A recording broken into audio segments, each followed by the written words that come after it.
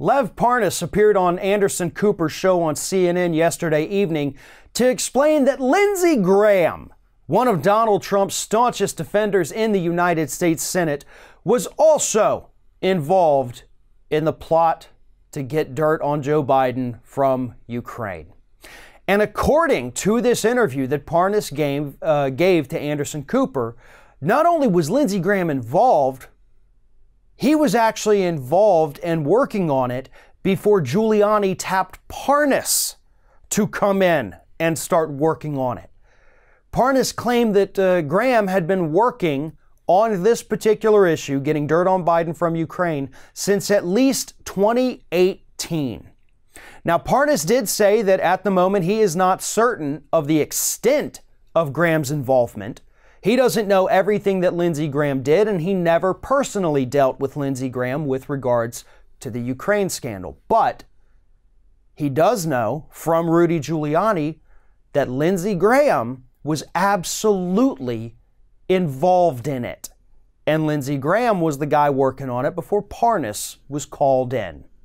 So if Lindsey Graham was working on this all the way back to 2018, that's right about the time when we saw that massive shift in Lindsey Graham, right?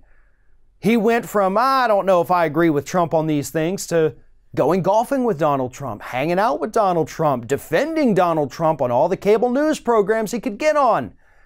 That was right about the time people started wondering, I wonder what they have on Lindsey Graham. I wonder what's happened to Lindsey Graham. And then John McCain passed away, and then Lindsey Graham went even more crazy. And if what Parnas is telling us here is the truth, and again, Parnas has nothing to lose at this point by coming clean, I think that kind of explains what happened to Lindsey Graham. Now, don't get me wrong, Lindsey Graham has always been a horrible human being. He was just able to cover it up sometimes. He stopped covering it up in 2018, is what happened. You know, he dropped the facade and said, This is who I am. I'm loud and I'm proud and I'm corrupt as hell.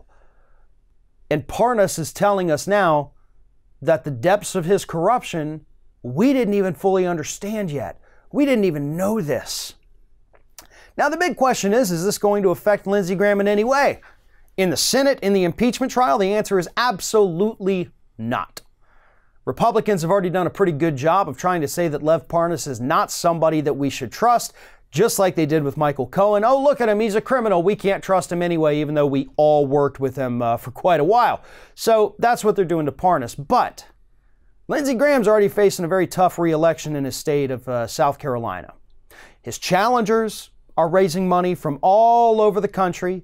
Lindsey Graham is a deeply despised human being outside of the state of South Carolina.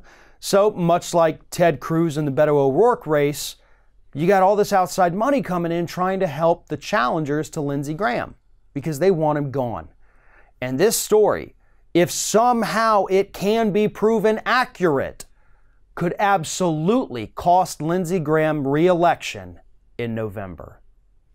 I know what a lot of you out there are thinking. You're thinking, wouldn't it be amazing if you could wear the Ring of Fire logo across your chest?